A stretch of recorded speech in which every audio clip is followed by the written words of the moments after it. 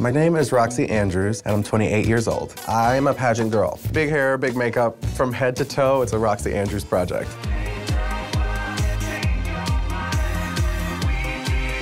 I'm so excited to be here today. Well, let's get started. Boom!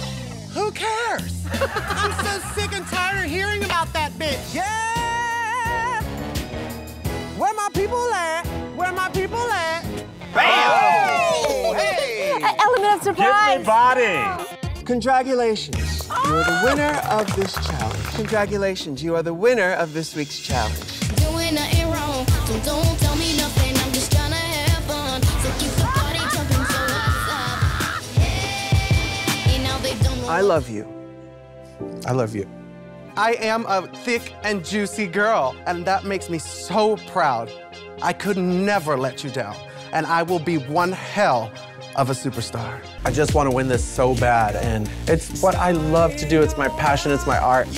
I am America's Next Drag Superstar. Miracles happen every day. This is the beginning. Hey, squirrel friend. When one video ends, just open up another one. It's called binge viewing. Go ahead. I support you.